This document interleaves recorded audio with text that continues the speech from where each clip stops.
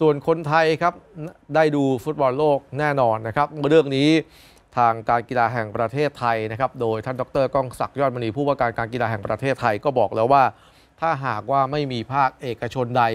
ซื้อลิขสิทธิ์ฟุตบอลโลกมาให้แฟนบอลชาวไทย หรือว่าแฟนกีฬาชาวไทยได้ได้รับชม การกีฬาแห่งประเทศไทยจะดำเนินการครับ ดรก้องศักดิ์ยอดมณีผู้ว่าการการกีฬาแห่งประเทศไทยก็เปิดเผยเรื่องภาครัฐเตรียมเข้าซื้อลิขสิทธิ์ฟุตบอลโลก 2022 หากไม่มีภาคเอกชนสนใจ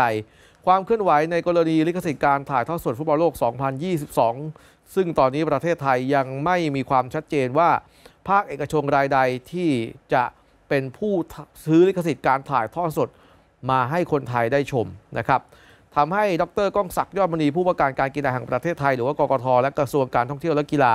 เปิดเผยว่ากกทในฐานะหน่วยงานของรัฐ ได้เฝ้าติดตามสถานการณ์ดังกล่าวอย่างใกล้ชิดอยู่ตลอดเวลา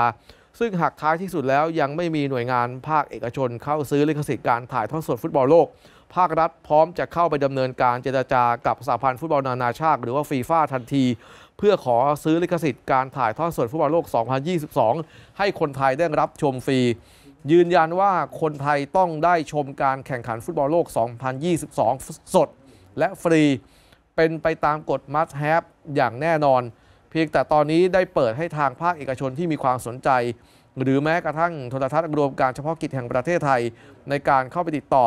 กับสหพันธ์ฟุตบอลนานาชาติ หรือว่าฟีฟ่าซึ่งเป็นเจ้าของลิขสิทธิ์ จากข้อมูลที่ได้ทราบมาตอนนี้นะฮะยังมีผู้ให้ความสนใจอยู่แต่ หากท้ายที่สุดแล้วผู้ที่สนใจภาคเอกชนไม่สามารถสรุปหรือว่าซื้อลิขสิทธิ์มาถ่ายทอดสดฟุตให้กับแฟนชาวไทยได้ชมได้ ภาครัฐโดยการกีฬาแห่งประเทศไทย พร้อมยื่นมือเข้าไปดำเนินการเรื่องนี้สำหรับประกาศจากคณะกรรมการกิจการกระจายเสียงกิจการโทรทัศน์และกิจการโทรคมนาคมแห่งชาติ หรือว่ากสทช เมื่อปีพุทธศักราช 2555 ว่าเรื่องเรื่องหลักเกณฑ์รายการโทรทัศน์สำคัญ ด้านกีฬาที่ต้องเผยแพร่ให้ชมทางฟรีทีวีหรือว่า Must Have เนี่ยมีอยู่ 7 ชนิด